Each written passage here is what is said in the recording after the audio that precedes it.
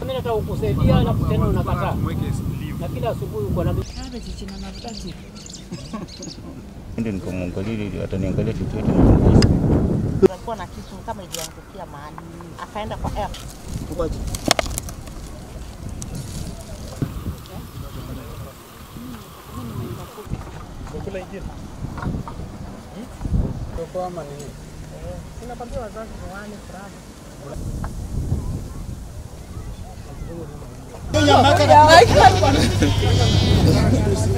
Sasa nimetulia hapa, wale ndio wazazi wangu, wale ndio familia kwangu, ilikuwa hapa nikiwa mdogo, lakini wote waliniacha, nibaki hapa mimi peke yangu mdogo.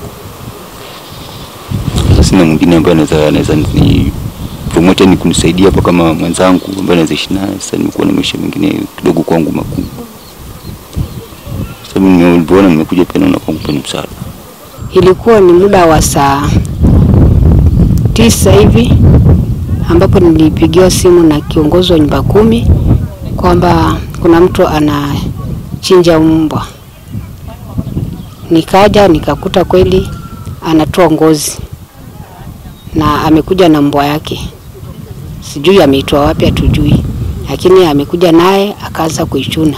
Nikaja nikashuhudia kweli, nikaona anaichuna, hata nikapiga picha akiwa anachuna. Akasema basi mimi nilipopata hii nikaona fadhali nilete nije nikatekate nifanye mboga. Nikamuuliza ufanye mboga unakula nani? Nasema si nikila hivyo hivyo nitashiba.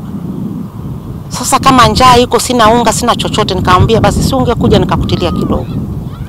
Akaniambia kwani kila siku utakuwa unanipatia? Si wewe saa ingine wewe unasema hujapata chochote. Si wewe mwenyewe pia ukitafuta huwa unakosa. Huwa nakukuta ukinywa strong.